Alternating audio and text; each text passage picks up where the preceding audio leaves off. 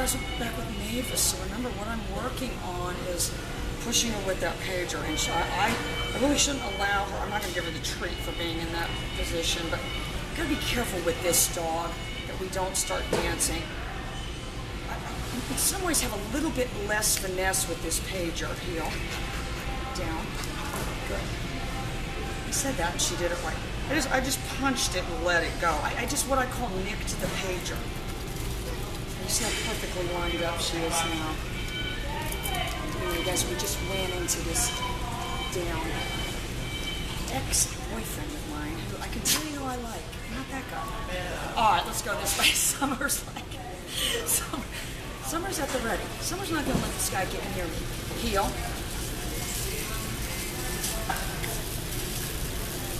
Heel. I'm doing right there is pushing over the page. Let's just stay in this little area. Okay. Good. Heel. I am gesturing with my hand. I, and if I didn't want to do that, heel, heel. You could gesture more. You could gesture more with your shoulder. Heel. Heel. Starting my pager right there. Heel.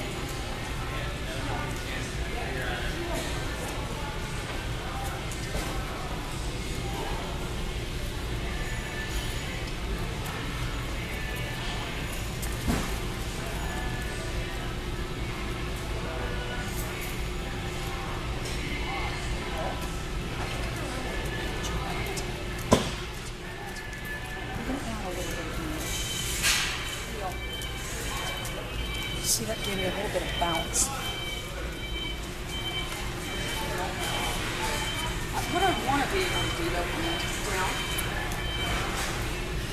is add my hand, get the response I want, and, and, and have the dog understand the precursors of that. that that's what, what I'm doing. I'm sure you're like, you've been training with the dog for this many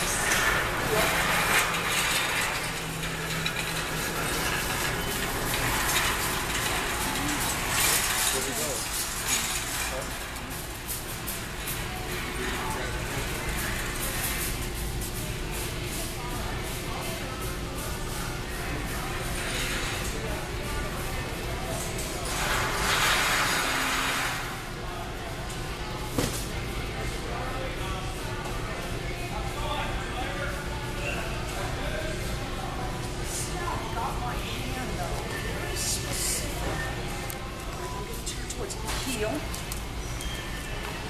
was completely bored by that.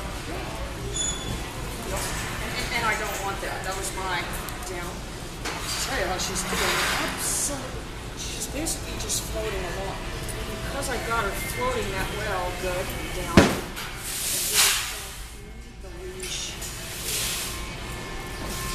Float her back that way.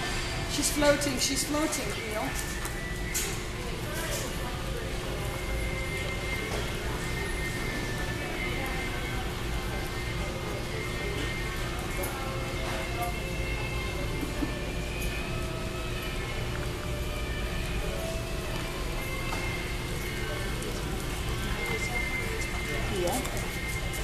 Heel. Good. You really can't. Good. Heel.